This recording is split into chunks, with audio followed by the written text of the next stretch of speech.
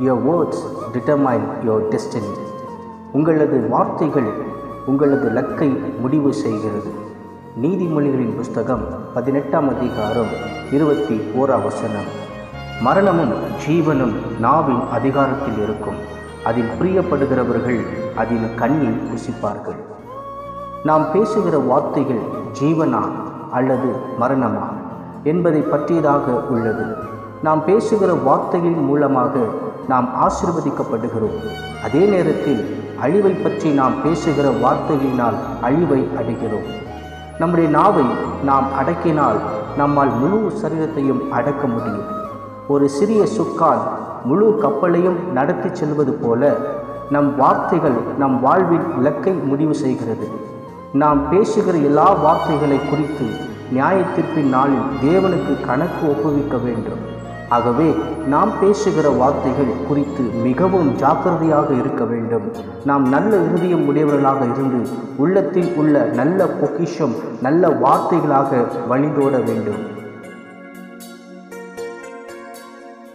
The word of God as creative power தேவனுடைய வார்த்தையானது உருவாக்கும் வல்லமை கொண்டது. நம்முடைய இருதயம் தேவனுடைய வார்த்தையினால் நிறைந்திருக்க வேண்டும். தேவனுடைய வார்த்தையில் மிகுந்த வல்லமை உள்ளது. தேவன் முழு உலகத்தையும் தமது வாயின் வார்த்தையினாலே சிருஷ்டித்தார். நாம் தேவ வார்த்தையை பேசும்போது தேவனுடைய வல்லமையானது அது எந்த நோக்கத்திற்காக அனுப்பப்பட்டதோ அதை வாய்க்கும்படி செய்யும். தேவனுடைய வார்த்தை நமக்கு விசுவாசத்தையும் ஞானத்தையும் இரட்சிப்பையும் தருகிறது. நாம் தேவ வார்த்தையை தொடர்ந்து கேட்போமானால் அது நம் உள்ளத்தில் விசுவாசத்தை கொண்டு வரும்.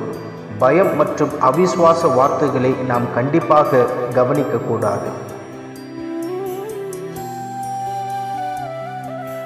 We must boldly speak the promises of God by faith. தேவனுடைய வாக்குத்தத்தங்களை விசுவாசத்தோடு தைரியமாய் பேச வேண்டும். எபிரியர் பதினோராம் அதிகாரம் பதினோரா வசனம். விசுவாசத்தினாலே சாராலும் வாக்குதத்தம் பண்ணினவர் உண்மை உள்ளவர் என்றெண்ணி கர்ப்பம் தரிக்க பலன் அடைந்து வயது சென்றவளா இருந்தும் பிள்ளை பெற்றாள் தேவனுடைய வார்த்தையை விசுவாசத்தினால் தைரியமாய் பேச வேண்டும். விசுவாசமானது வாக்குதத்தங்களை குறித்து உறுதியை அது நிறைவேற்றுவதற்கு முன்னதாகவே நமக்கு தருகிறது. நாம் எதிர்கொள்ளும் ஒவ்வொரு சூழ்நிலையிலும் தேவ வாக்குதத்தத்தை பேச வேண்டும். ஆவின் பட்டயமாகிய தேவ வார்த்தையில் சத்ருவுக்கு எதிராக நாம் பயன்படுத்த வேண்டும். ஆபிரகாம் தாவீது யோசுவா காலேப் ஆகியோர் பாடுகளின் நேரத்தில் விசுவாசத்தின் வார்த்தைகளை பேசினார்கள்.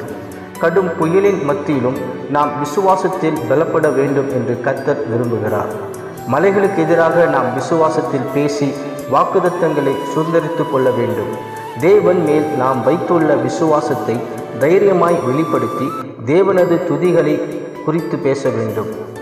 பயத்தின் வார்த்தைகளையோ சந்தேகத்தின் வார்த்தைகளையோ அவிசுவாச வார்த்தைகளையோ நாம் பேசக்கூடாது. தேவனுக்கு எதிராக பேசவோ முறுமுறுக்கவோ கூடாது. Positive words bring health and happiness நல்ல வார்த்தைகள் ஆரோக்கியத்தையும் சந்தோஷத்தையும் கொடுக்கும். நீதிமொழிகள் பதினாறாம் அதிகாரம் இருபத்தி நான்காம் வசனம். இனிய சொற்கள் தேன்கூடு போல் ஆத்மாவுக்கு மதுரமும் எலும்புகளுக்கு ஔஷதமும் ஆகும். நல்ல வார்த்தைகள் மகிழ்ச்சியையும் சுகத்தையும் தருகிறது. நம்பிக்கையின் வார்த்தைகள் உற்சாகப்படுத்தி பிறருக்கு பெருத்த ஆசீர்வாதத்தை கொண்டு வருகிறது. சுகத்தையும் சந்தோஷத்தையும் கொடுக்கும் கிருபையுள்ள வார்த்தைகளை நாம் பேசும்படி நாம் தேவனிடமிருந்து கிருபைகளை பெற்றுக்கொள்ள வேண்டும். கொடூரமான வார்த்தைகள் பிறருக்கு கடும் காயத்தை ஏற்படுத்துவதால் அப்படிப்பட்ட வார்த்தைகளை நாம் பேசாதிருக்க வேண்டும். Parents have authority to bless or curse their children பிள்ளைகளை ஆசிர்வதிப்பதற்கும் சபிப்பதற்கும் பெற்றோர்களுக்கு அதிகாரம் உண்டு. பிள்ளைகளை ஆசிர்வதிப்பதற்கும் சபிப்பதற்கும் பெற்றோர்களுக்கு அதிகாரம் உண்டு. ஈசாக்கும் யாக்கோபும் தங்கள் பிள்ளைகளை ஆசிர்வதிக்கும் அதிகாரத்தை பயன்படுத்தினார்கள். நோவா தன்னை கனப்படுத்திய மகன்களை ஆசீர்வதித்ததையும் தன்னை கனவீனப்படுத்தின மகனை சபித்ததையும் வேதத்தில் பார்க்கிறோம். பிள்ளைகள் தங்கள் பெற்றோரிடமிருந்து ஆசீர்வாதத்தை பெற்றுக்கொள்ள அவர்களை கனப்படுத்த கவனமுள்ளவர்களாக இருக்க வேண்டும். பெற்றோர்கள் தங்கள் பிள்ளைகளிடத்தில் பேசும்போது அந்த வார்த்தைகளை அவர்களது வாழ்வை கடுமையாக தாக்கும் என்பதால் வார்த்தைகளை குறித்து கவனமுடையவர்களாக இருக்க வேண்டும். பெற்றோர்கள் தங்களுக்கு கொடுக்கப்பட்டுள்ள அதிகாரத்தை பயன்படுத்தி தினமும் பிள்ளைகளை தேவனின் ஆசீர்வாதத்தின்படி ஆசிர்வதிக்க வேண்டும். அப்பொழுது அவர்களது வாழ்க்கை ஆசீர்வாதமாக இருக்கும்.